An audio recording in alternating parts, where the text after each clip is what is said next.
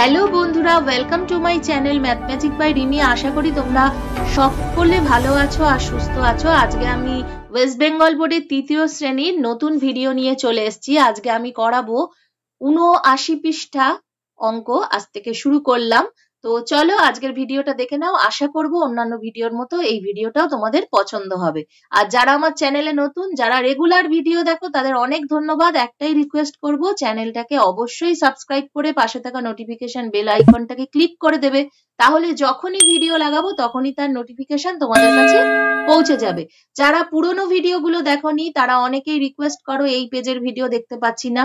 অবশ্যই আমার চ্যানেলে গিয়ে প্লে লিস্টে যাবে ক্লাস থ্রি এর পর পর পেজ ওয়াইজ ভিডিও দেখতে পাবে। সমস্ত অঙ্কের পরিষ্কারভাবে সমাধান করে দেওয়ার চেষ্টা করি, যাতে তোমরা নিজেরাই বাড়িতে অঙ্ক করতে পারো। তো চলো, আজকের ভিডিওটাকে শুরু করি। ওয়েস্ট বেঙ্গল বোর্ডের তৃতীয় শ্রেণি উনআশি পৃষ্ঠা, দেখো, বার্ষিক খেলায় যাই। কাল আমাদের বার্ষিক খেলা হবে, তাই আজ সকালে মাঠে চুন দিয়ে সোজা লাইন তৈরি করছি। অমল দৌড়ে প্রথম গেল, কিন্তু অমলকে বাদ দেওয়া হলো, কারণ অমল তার লাইনে সোজা দৌড়য়নি।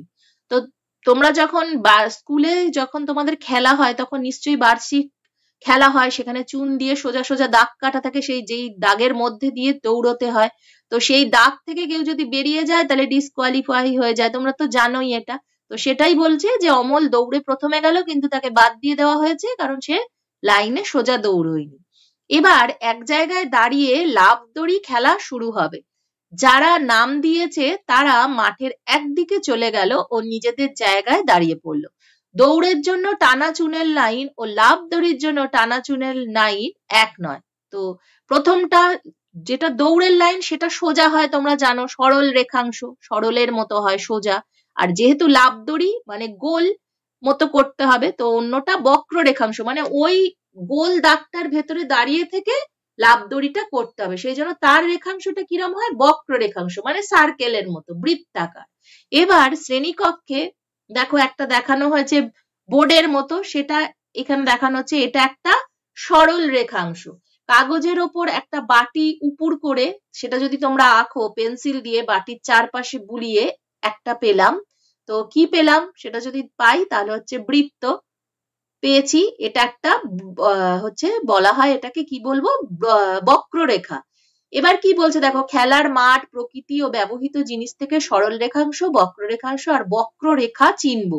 তো এইগুলো কি জিনিস? সেগুলো আমরা এইটা থেকে জানব। তো এটা ছিল উনআশি পৃষ্ঠা এরপরে আমরা পরের পৃষ্ঠায় চলে যাব।